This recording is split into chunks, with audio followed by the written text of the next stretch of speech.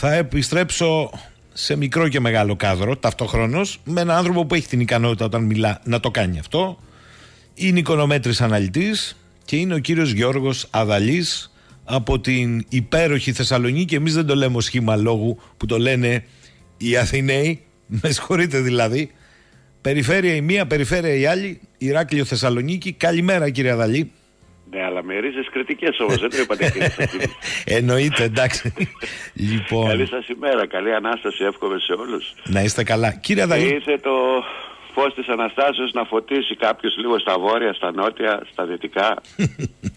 Κύριε Αδαλή, κοιτάξτε, ε, λέγαμε το πρωί και από χθες το έχουμε πει σε πολλοί κόσμο ότι επειδή συζητάμε και για τις εφοδιαστικές αλυσίδες, που θυμίζω ότι πριν τρία χρόνια Εσείς μας είχατε εισαγάγει σε μερικές λεπτομέρειες αυτού του θέματος.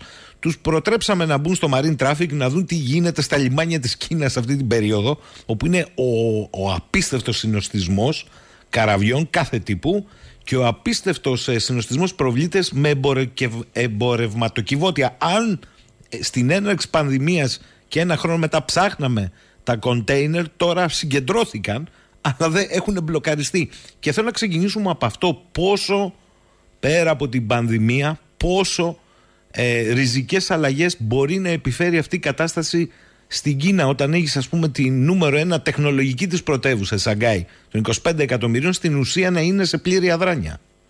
Βέβαια. Τώρα δεν ξέρω αν έχετε πρόσβαση γιατί σας έστειλα ε, πριν μερικά δευτερόλεπτα στο, στο facebook τρεις φωτογραφίες θα δείτε.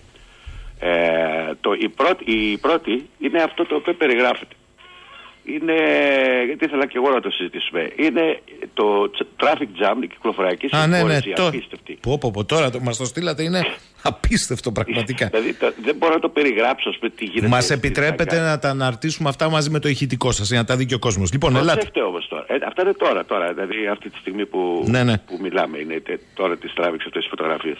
Ε, αλλά όπως ξέρετε καλύτερα από τον καθέναν, γιατί μιλάμε αρκετά χρόνια, ε, εγώ προσωπικά βλέπω τις ειδήσεις ε, από την αθέατη πλευρά της Σελήνης.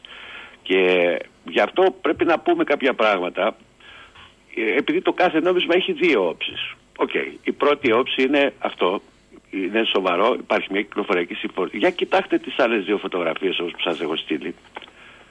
Ναι. Είναι το λιμάνι, το μεγάλο λιμάνι της Αμερικής του Λος Άντζελες από την αριστερή όπως τα βλέπω εγώ και από τη δεξιά πλευρά είναι το μεγάλο λιμάνι του Χιούστον που συνδέει ε, τα ενεργειακά στρατηγικά αποθέματα στο Κούσινγκ της Οκλαχώμα από πάνω και γενικώ όλο το δίκτυο των αγωγών και το Port Arthur άλλο ένα λιμάνι το οποίο έχει σχέση και με τα ενεργειακά Στρατηγικό και αυτό βεβαίως. Το οποίο πώς το βλέπετε κύριε Σαχίνη αυτά τα λιμάνια; Χαλαρά. Χαλαρότατα. Και αν σκεφτείτε ότι αυτά τα δύο λιμάνια ήταν πρωταθλητές της κυκλοφοριακής συμφόρεσης στις αλυσίδες και το μεγάλο πρόβλημα της εφοδιαστικής αλυσίδας στην Αμερική πολλά τα έχουμε πει και από το 2020 στο παρελθόν ε, τώρα μάλιστα η αποσυμφόρεση αυτών των λιμανιών οφείλεται στην μεγάλη συμφόρεση της Σαγκάης και βρήκαν χρόνο εκεί να επιδιορθώσουν επιτέλους κάποια πολύ σοβαρά θέματα και να αναδιατάξουν το προσωπικό τους. Αυτό τώρα ε, για να είναι σύμπτωση, mm. αν ήταν από μόνο του αυτό το πράγμα, θα σας έλεγα ότι ξέρετε, εντάξει, μπορεί να έτυχε ή μπορεί να είναι κάποια ας πούμε σπόντα της ε, διεθνούς, της παγκόσμιας οικονομίας, αλλά έχει και κάτι άλλο όμως. Έχει και κάτι άλλο το οποίο πάλι είναι στην αθέατη πλευρά της Ελλήνης. Και το άλλο αυτό τι έχει, έχει πάλι σχέση με τα ενεργειακά. Έχουμε τώρα αυτή τη στιγμή μία α, απαγόρευση πώλησης ρωσικού πετρελαίου. Έτσι δεν είναι. Ή μια ας το πούμε ένα, ο φόβος της απαγόρευσης. Υπάρχουν οι κυρώσεις, υπάρχουν ε, ας έχεις... πούμε, οι τεράστιες πιέσεις της πολιτικής Biden προς τους δυτικούς ότι είστε μαζί μας ή είστε με τον Πούτιν. Και όχι μόνο προς τους δυτικούς αλλά και προς τους Σαουδάραβες και προς ε, ε, όποιον μπορεί και όποιον δεν μπορεί. Ε, αυτό έχει σαν αποτέλεσμα να λείψουν από την αγορά μέχρι στιγμής από 2,5 έως 3 εκατομμύρια βαρέλια από τα 7 εκατομμύρια βαρέλια περίπου που εξήγαγε καθημερινά η Ρωσία πριν τις κυρώσεις της 24ης Φεβρουαρίου. Είναι ένα μεγάλο νούμερο το οποίο πρέπει να αντικατασταθεί Διότι όσο δεν αντικαθίσταται, διευρύνεται το έλλειμμα μεταξύ της ζήτησης και της προσφοράς με αποτέλεσμα να αυξάνουν οι τιμές και είχαμε το ράλι που πήγε το πετρέλαιο μέχρι τα 137 δολάρια. Θα είχαμε κι άλλο ράλι τώρα, τώρα αυτή τη στιγμή που μιλάμε το οποίο κατά την εκτίμησή μου θα ξεπερνούσε τα 130 και θα πήγαινε έως και 140 δολάρια. Ποιος δεν επιτρέπει αυτό το ράλι και οι τιμές είναι σήμερα, ήταν το πρωί που τις είδα στα 112 δολάρια ε, και τις κρατάει σε αυτά τα επίπεδα και δεν γίνεται το ράλι, η Κίνα. Πώς; Με το περιορισμένο αυτό lockdown. Όσο και αν φαίνεται περίεργο, η Κίνα έκλεισε ένα τεράστιο επιχειρηματικό hub, ένα κόμβο επιχειρηματικό και τον έκλεισε με lockdown. Αυτό τι σημαίνει; Ότι εκεί υπάρχει πτώση της ζήτησης του πετρελαίου.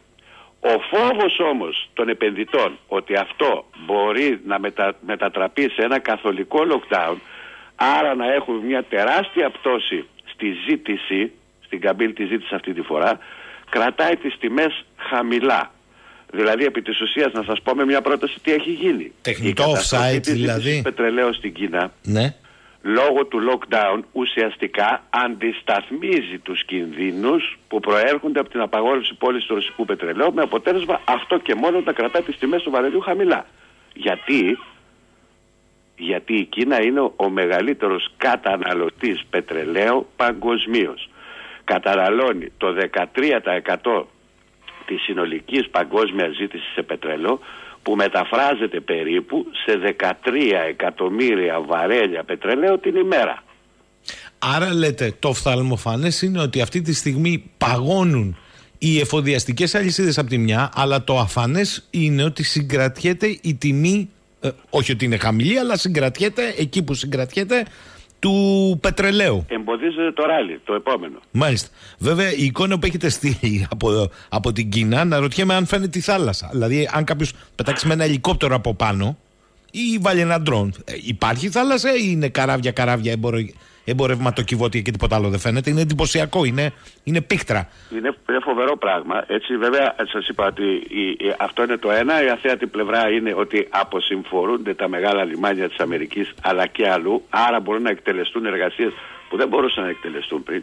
Και το δεύτερο είναι ότι η, υπάρχει μία α το πούμε επιβράδυση σαν κάποιος να τραβάει τα γέμια του αλόγου ό,τι αφορά το επόμενο ράλι που περιμένουμε. Όχι ότι δεν θα έρθει θα έρθει. Αλλά αυτά τα δύο μαζί δείχνουν κάτι το οποίο ναι μεν μπορεί να είναι πολιτικό αλλά είναι και η αλήθεια ότι στην παρούσα φάση ε, η ηγεσία της Κίνας συμπλέει με τα θέλω και τις επιθυμίες του Προέδρου Biden από τις ελάχιστες φορές και αυτά τα οποία γίνονται είναι μια κατάσταση win-win, συμφέρουν και τους δύο δηλαδή η Κίνα. Γιατί δεν μετατρέπει αυτό σε ένα μεγαλύτερο lockdown τόσο ώστε να ρίξει τις τιμές σε διψήφιο κάτω από τα 100 δολάρια διότι έτσι θα καταστρέψει το πετρελαϊκό και το ενεργειακό σύστημα του Πούτιν πράγμα το οποίο δεν το θέλει με τίποτα. Άρα κρατάει μια ισορροπία λέτε. Τεράστιο ε... διαστάσεων ισορροπία, μια realpolitik η οποία μεταφράζει σε ένα γιγαντιαίο α, γεωοικονομικό παύλα γεωπολιτικό παιχνίδι από τα λίγα που έχουμε δει στις αγορές και καλό είναι να το, να το καταγράφουμε αυτό. Βέβαια θα μου πείτε και ποιος είσαι εσύ τώρα που μας λες εδώ πέρα τι, αφού ο πρόεδρος έχει βγάλει 180 εκατομμύρια βαρέλια την ημέρα από τα SPR, δηλαδή από τα στρατηγικά αποθέματα, ο πρόεδρος Biden.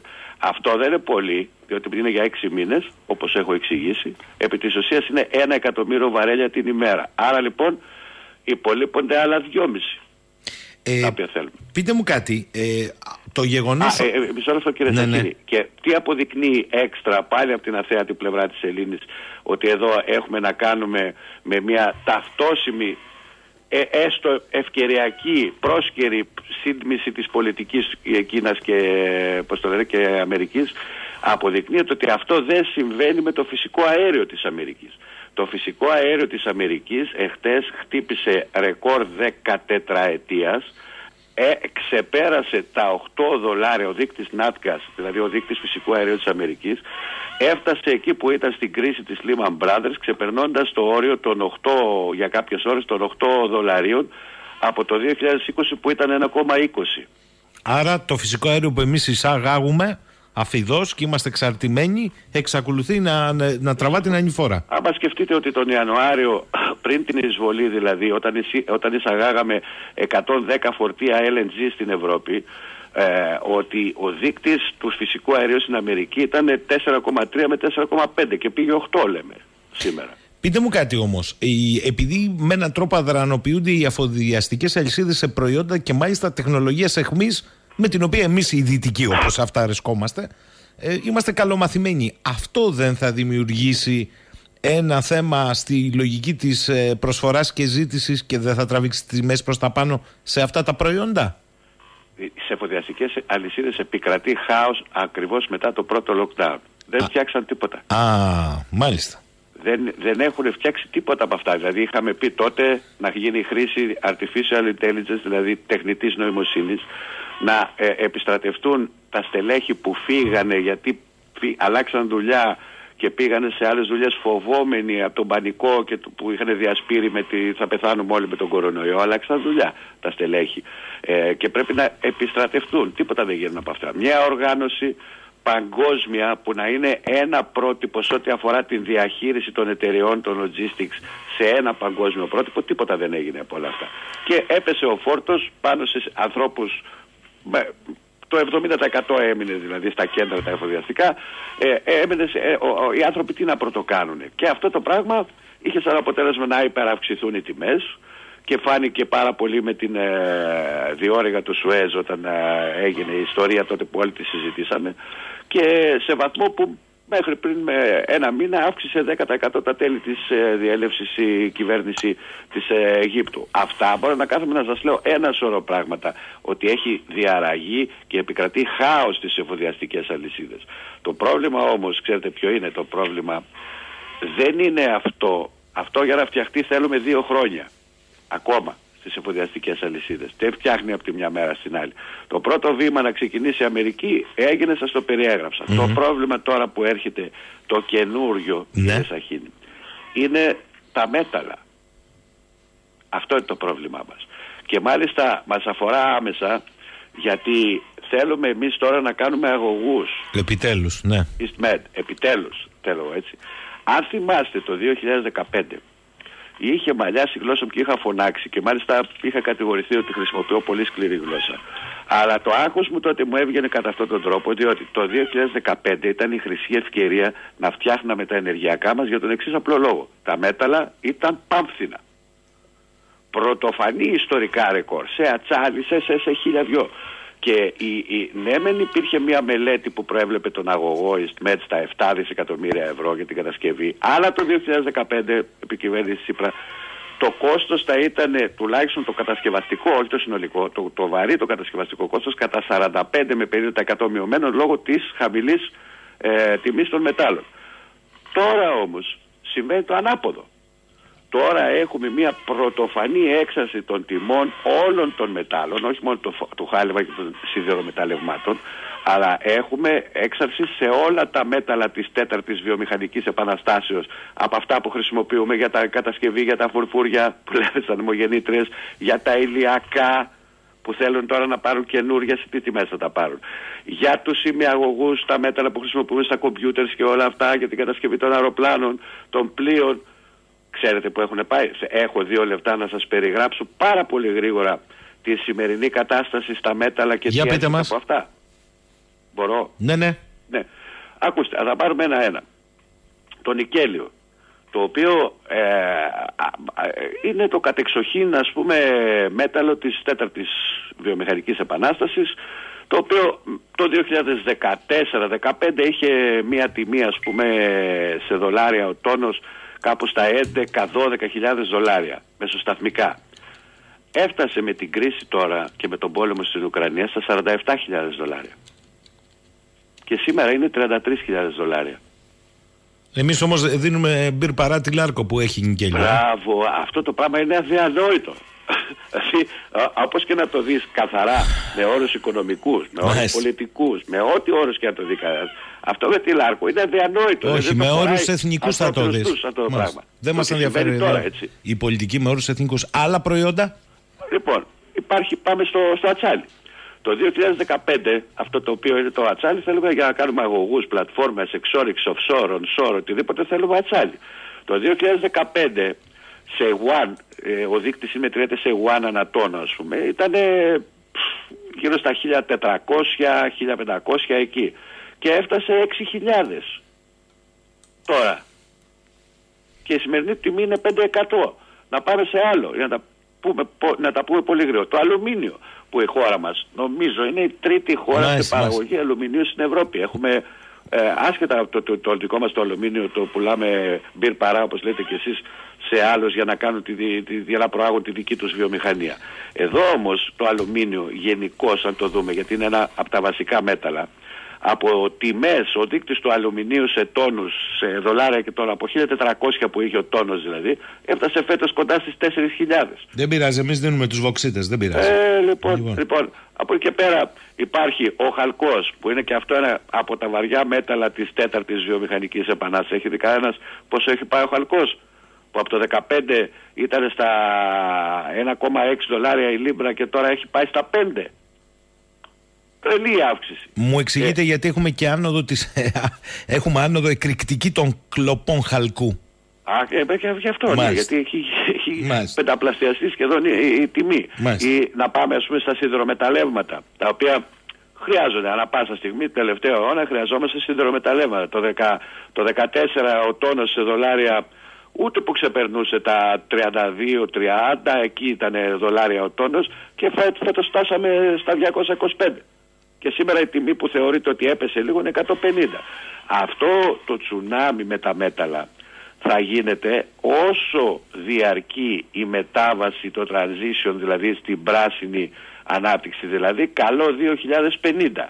Και υπολογίζουμε ότι αν ποτέ επιτευχθεί ε, ε, net zero, δηλαδή καθαρό αποτύπωμα άνθρακα, πάμε στο μηδέν δηλαδή που λέμε, τότε θα έχουν καταφέρει η, η, η, το, το, το, η κεφαλαιοποίηση της αγοράς των μετάλλων που σας περιέγραψα τώρα και ειδικά των τεσσάρων μάλλον βασικών μετάλλων που χρειάζεται η πράσινη επανάσταση για να επιτευχθεί θα είναι στα 13,5 εκατομμύρια δολάρια στο τέλος αυτού του κύκλου. Κύριε Αδαλή, κάντε μου τη χάρη, ήρθε η ώρα των ακροατών, γιατί εδώ όταν μιλάτε, ε, το, το έχετε καταφέρει αυτό, έχετε βροχή μηνυμάτων. Λοιπόν, ο φίλος ο Περικλής από το Ρότερνταμ. Καλημέρα, λέει στον εξαιρετικό κύριο Αδαλή. Μπορεί, σας παρακαλώ πολύ, με δύο κουβέντες να μας εξηγήσει και σας παρακαλώ και εγώ να είστε σύντομος για να πούμε πολλά ερωτήματα. Ναι. Ο κύριος Αδαλής, τι γίνεται με τα χρηματιστήρια; Παρά τους πολέμους, τις πανδημίες, τις επισητιστικές κρίσεις, ο Standard Poor's 500 είναι ακόμη συν 30% από τα προ-πανδημίας Φεβρουάριο του 20. Βλέπει καμία λογική σε αυτό; Και επίσης, λέει, επίσης, θα ήθελα να ακούσω την άποψή του για αυτά που γίνονται στη Σαγκάη. Είναι συνωμοσιολογικό να πούμε ότι οι κινέζικες αρχές εσκεμμένα κάνουν αυτά που κάνουν στη Σαγκάη; Όχι. Καθόλου συνωμοσιολογικό. Δηλαδή, εγώ δεν ξέρω, α, δεν, δεν, μπορώ να υποκαταστήσω ας πούμε τους διπλωματικούς συντάξεις και να πω ποιος το έκανε και γιατί. Αυτό το οποίο ξέρω εγώ και μπορώ να σας πω με απόλυτη σιγουριά είναι ότι αυτή η πράξη σκόπιμη, πείτε τη σκόπιμη, τυχαία, τυχαία Λανθασμένη, λανθασμένη. Σωστή, σωστή. Υγειονομικά άμυνα. Όπως και να το πει ο καθένας, το αποτέλεσμα αυτής της πράξης είναι αυτό που σας περιγράφω.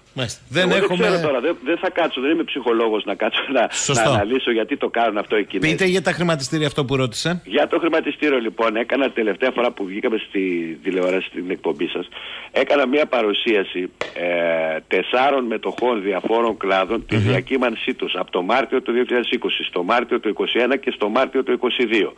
Και κατέδειξα ποιοι κερδίζαν τότε μεγάλα ποσά, εταιρείες όπως η Facebook που κατέγραψε μια τρελή κεφαλαιοποίηση και ποιοι έχαναν πολύ, μεγάλα, πολύ μεγάλες πτωτικές τάσεις όπως οι αμυντικές βιομηχανίες. Ποιοι κέρδιζαν ε, όπως η Netflix που είναι μια εταιρεία η οποία ε, τι πουλάει, συνδρομέ πουλάει και ποιοι έχαναν τεράστια ποσά όπως η ExxonMobil και η Chevron. Και όταν τις δείτε μαζί η πορεία η χρηματιστηριακή του, της μεταβολής του δίκτυου της τιμής, όχι των τιμών της μεταβολής είναι ταυτόσιμη. Που τι σημαίνει αυτό, ότι τώρα έπεσαν πάρα πολύ αυτοί οι οποίοι τότε κέρδιζαν, χάνουν σήμερα και αυτοί που τότε έχαναν σήμερα κερδίζουν. Αυτή η μεταβολή ήταν τόσο ραγδαία αλλά δεν είχε επίδραση γενική στο δίκτυ. Ο δίκτυ συνέχισε να είναι υψηλές, δηλαδή τι κάνει, δηλαδή το χρήμα άλλαξε χέρια, ας πούμε, σε ό,τι αφορά την κεφαλαιοποίηση και, τη, και τις τιμές των μετοχών. Ο δείκτης είναι εκεί και θα είναι εκεί, γιατί έχουν βρει στην Αμερική έναν τρόπο, χάνουν, κερδίζουν, να κερδίζουν πάντα. Ο φίλος ο Νεκτάριος, καλημέρα στον κύριο Αδαλή. Εμείς που ασχολούμαστε και με το χρηματιστήριο λέει, του πετρελαίου, λέμε ότι απλώς έγινε τεχνική διόρθωση στην άδο της τιμής από τα 130 στα 90-95 και τώρα θα πάει στα 140 plus. Συμφωνείτε; Δεν υπάρχουν τεχνικές αναλύσεις πλέον στη, στα commodities και στα, στα, στα ενεργειακά προϊόντα. Και εδώ θέλω στον φίλο τον Ακλάτη ναι, ναι. να επισημάνω κάτι. Όσα χρόνια, ε, όσα χρόνια είχαμε μια περίοδο όπου όλα πήγαιναν καλά. Ε, τότε οι τεχνικές αναλύσεις ναι βοηθούν να καταλάβουμε κάποια πράγματα και να μπορέσουμε να εξηγήσουμε με τεχνικούς όρους, με αναλύσεις, ε, να εξηγήσουμε κάποια πράγματα όπως τα εξηγούσαμε 30 χρόνια. Τώρα όμως θα πρέπει να πούμε ότι έχουμε για πρώτη φορά ε, ενεργειακή κρίση, πολεμική κρίση, έχουμε πόλεμο, έχουμε ε, ταυτόχρονα πανδημία και έχουμε και επιστηστική κρίση. Σε αυτές, σε αυτές, σε αυτές τις ε, περιπτωσεις σε αυτές τις περιπτώσεις, αυτό το οποίο έχουμε να πούμε είναι ότι οι τεχνικές χρηματιστηριακές αναλύσεις όχι απλά δεν βοηθούν, οδηγούν σε λάθος δρόμο.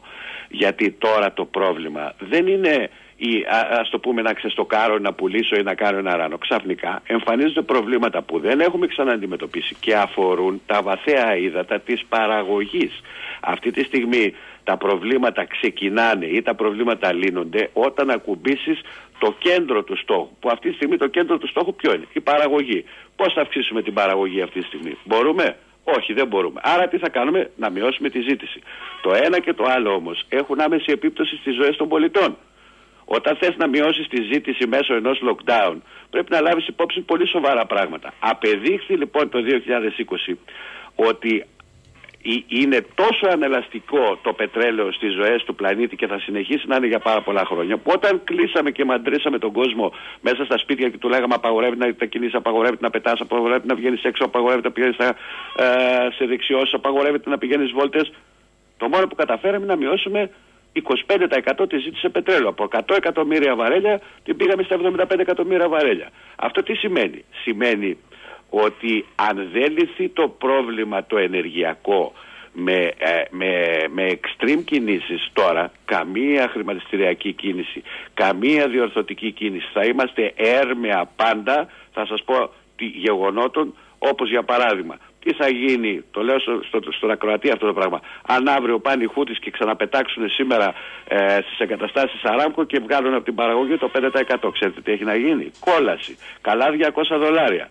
Αυτό είναι διόρθωση, έχει σχέση με το χρηματιστήριο. Τι θα γίνει αν για παράδειγμα, σας λέω εγώ, αύριο πει ο Πούτιν ότι εγώ κάνω εμπάργκο σε όλες τις πωλήσεις μου, δεν μπορώ σε κανένα στην Ευρώπη, τα, τα μεταφέρω όλα ανατολικά. Ξέρετε τι έχει να γίνει; Λοιπόν, οπότε ποια χρηματιστηριακή ανάλυση; Εδώ θέλει ανάλυση στο βάθος της αγοράς. Και το βάθος της αγοράς φωνάζει χρόνια στην Ευρώπη. Κυρία αξιότιμη Ευρώπη, ναι. κάντε εξορίξεις πετρελαίου και φυσικού αερίου τώρα. Τώρα δεν μπορεί να εξαρτάστε πλέον ακόμα μετά από αυτά τα χάλια τα οποία ε, ζούμε και με αυτά τα υπέρογκα τιμολόγια να εξαρτάστε ακόμα από τον πρώτο τη χάρπα στο οποίο θα θέλει να αυξάνει να μειώσει τις τιμές αναλόγως τι το συμφέρει εκεί την ώρα. Θέλει τώρα. Γι' αυτό κιόλας, να σας πω κάτι, το φυσικό αέριο έχει στην Ευρώπη εξαπλάσια τιμή από ό,τι έχει στην Αμερική. Δεν παράγουμε. Είμαστε εξαρτώμενοι. Και το τελευταίο, γιατί να απεξαρτηθούμε από τον Πούτιν; Ρωτάω εγώ τώρα γιατί έκανε πόλεμο στην Ουκρανία. Μάλιστα. Και να εξαρτηθούμε από τους Σαουδάραβες. Μα γιατί οι Σαουδάραβες δεν κάνουν πόλεμο με την Ιεμένη; Λογικά. Να, εξαρτηθούμε, να απεξαρτηθούμε από τον Πούτιν γιατί κάνει πόλεμο. Μάλιστα, εγώ συμφωνώ πρώτος. Να, να εξαρτηθούμε μετά με ποιον, με το Ιράν που, που, που ρίχνει 12-12 τους πυράβλους στο Ιράκ. Αυτοί δεν έχουν πόλεμο. Δηλαδή είναι σοβαρή αυτή η ανάλυση.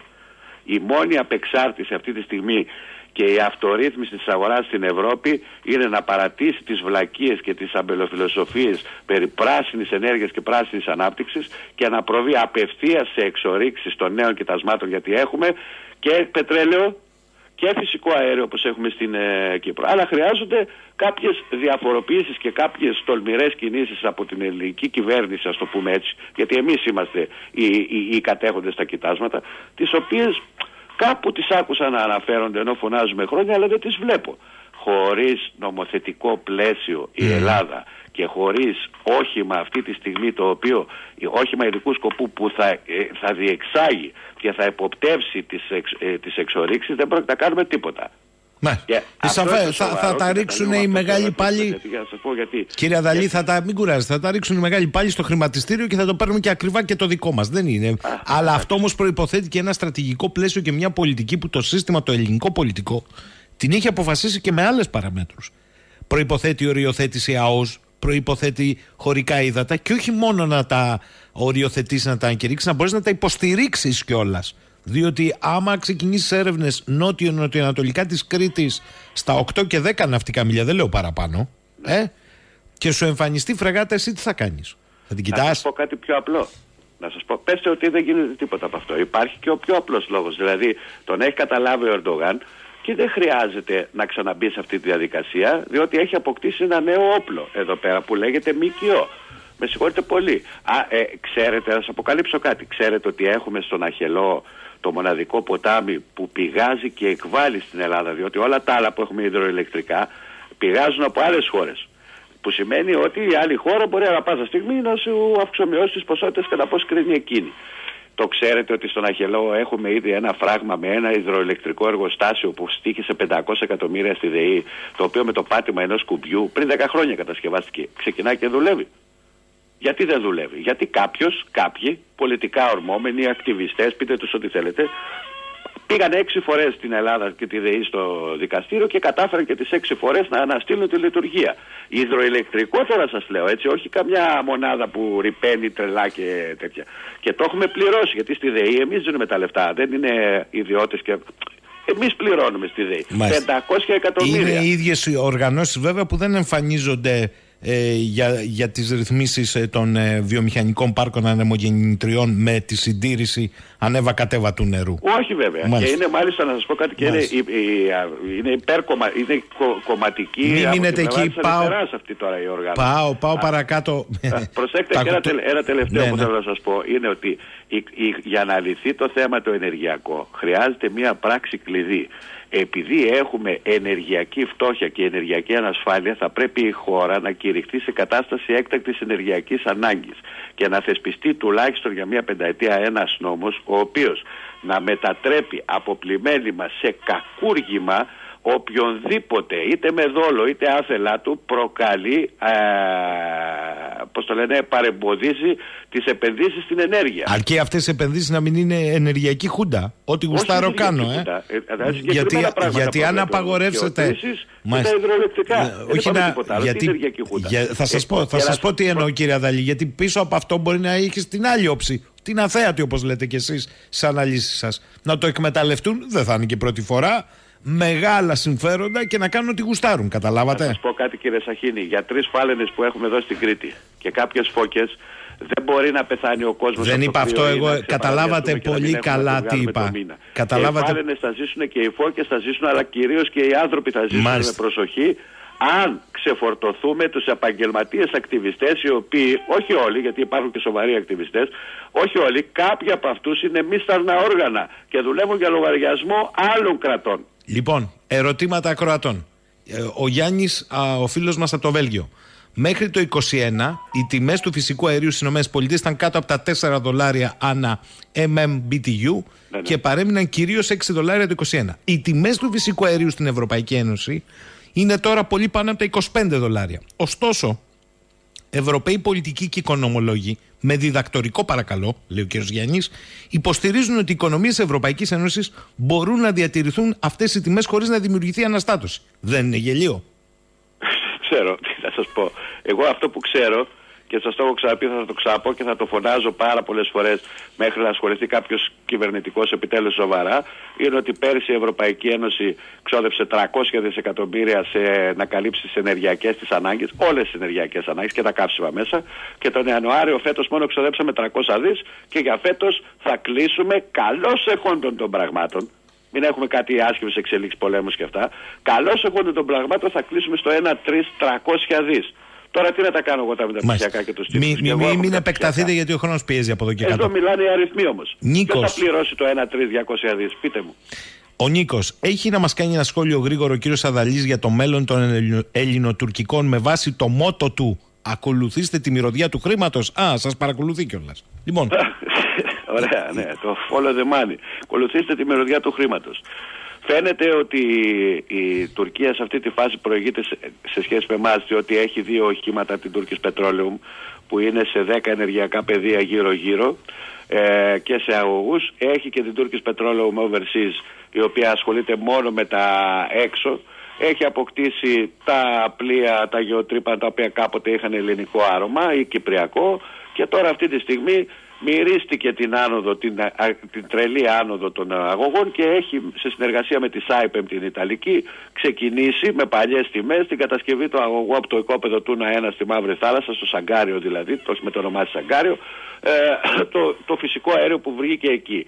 Τι προσπαθεί να κάνει, προσπαθεί να γίνει ένα hub από pipelines, hub ενεργειακό, hub ας το πούμε πετρελαίου και φυσικού αερίου και σε συνδυασμό με το πρώτο πυρηνικό εργοστάσιο το οποίο κάνει ήδη να γίνει, να αυτοπροτείνεται ο Ερντογάν mm. ως η εναλλακτική ενεργειακή λύση απέναντι στον τιμωρημένο Πούτιν.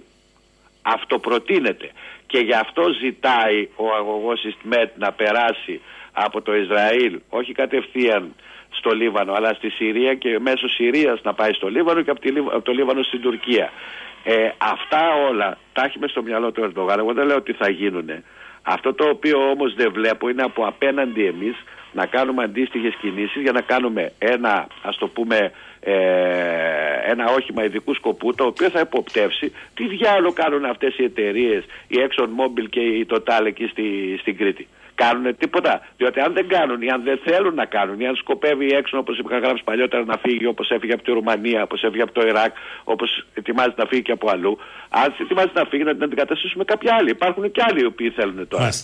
Και τελευταίο ερώτημα για σήμερα. Τελικά λέει η κυρία Δαλή, η φίλη μας η Μόλη, Ποιοι πιστεύετε ότι δεν αφήνουν να ανεξαρτοποιηθεί η Ευρώπη ενεργειακά, Γιατί δεν μπορώ να πιστέψω εγώ, λέει η Μόλι, ότι οι ηγεσίες δεν ξέρουν ότι πρέπει να γίνει αυτό ή ότι είναι όλοι ανόητοι. Κάτι άλλο. ελάτε, ελάτε τώρα.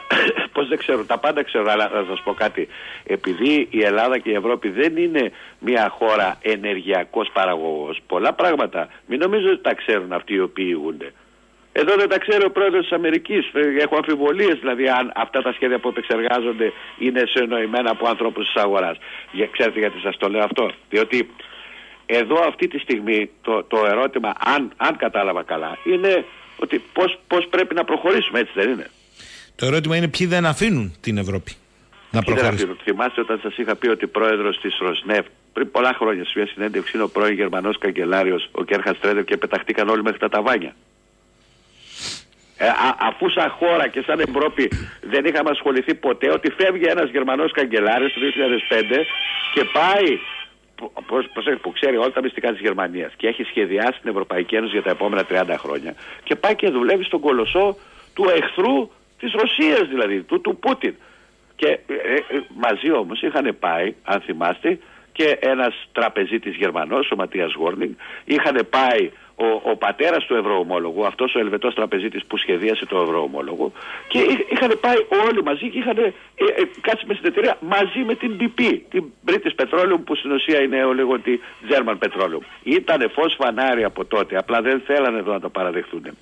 Ότι το κομμάτι της Γερμανίας της που φέρει, που υποφέρει όπως θέλετε πέστε το από το σύνδρομο της Ανατολικής Γερμανίας έχει συμμαχίσει ενεργειακά και όχι μόνο με την Ρωσία και ήθελε για λογαριασμό της τη διαχείριση, τη μονοπωλιακή διαχείριση του φυσικού αερίου μέσω αγωγών. Γι' αυτό ολόκληρη η Γερμανία ήταν η μοναδική σχεδόν χώρα στην Ευρώπη που δεν είχε ένα σταθμό LNG. Γι' αυτό δεν θέλαν τα πυρηνικά. Το πρόβλημα ποιο είναι, ότι οι Γερμανοί δεν έχουν λύσει τα εσωτερικά τους προβλήματα. Υπάρχει αντίστοιχα ένα πολύ μεγάλο κομμάτι της πολιτικής σκηνής, το οποίο εχθρεύεται αυτό που σας περιγράφω και είναι ευθέως διασυνδεδεμένο με την Αμερική. Αν δείτε, η Μέρκελ είναι ε, ε, στο Χριστιανοδημοκρατική Ένωση, έτσι δεν είναι; Ο Γκέρχα Σρέντερ είναι σοσιαλιστής Ενώ ο καινούριος ο καγκελάριος, ο, ο, ο Όλαφ Σόλτς, είναι και αυτός σοσιαλιστής. Η λογική θα έλεγα που είναι σοσιαλιστές και οι δυο να συνεργάζονται. Σφάζονται και ξέρετε γιατί σφάζονται. Διότι η Μέρκελ και ο Γκέρχα Στρέντερ είναι από την πλευρά της Ανατολικής Γερμανίας και έχουν τη φιλοσοφία που σας είπα. Ο Σόλτς είναι από την πλευρά της Δυτικής Γερμανίας και έχει την εντελώς διαφορετική φιλοσοφία. Και δυστυχώς εμείς καθόμαστε τώρα και πληρώνουμε τα 15 χρόνια που η Μέρκελ, ε, ο Πούτιν, ο, είχαν αποφασίσει να συμμαχίσουν μην έχοντας και άλλη διέξοδο με τον Αλίγεφ και τον Ερντογάν υπό την υψηλή επιστασία της BP και τώρα αυτή τη στιγμή λόγω των εκλογών αυτό το πράγμα έχει αλλάξει από την πρώτη μέρα που ανέλαβε ο Σόλτς που έβαλε τα δικαστήρια μπροστά και είπε τέρμα ο Nord Stream 2 και ξεκίνησε το μεγάλο πανηγύρι. Αυτό είναι το πρόβλημα στην Ευρωπαϊκή Ένωση. Δεν είναι ούτε πολιτικό ούτε οικονομικό. Είναι ένα εσωτερικό πρόβλημα της Γερμανίας το οποίο αυτό το εσωτερικό πρόβλημα της Γερμανίας οδήγησε στη σύγκρουση ε, και στην εισβολή της Ρωσίας ε, στην, ε, στην Ουκρανία. Γιώργος Σαδαλής, θα τα πούμε μετά τις γιορτές μαζί του, ακόμη πιο αναλυτικά. Θέλω να τον ευχαριστήσω. Ευχαριστώ πάντως για τον χρόνο που μου δώσατε. Και εμείς για την ανταπόκρισή σας και τις απαντήσεις στους ακροατές σε ευθύ χρόνο. Καλή Ανάσταση κύριε Αδαλή. Να είστε καλά. Είναι πάντα να μιλάω με εσά και με την Κρήτη. Εύχομαι σε όλους καλή Ανάσταση και καλά μυαλά. Και καλά μυαλά. Να είστε καλά.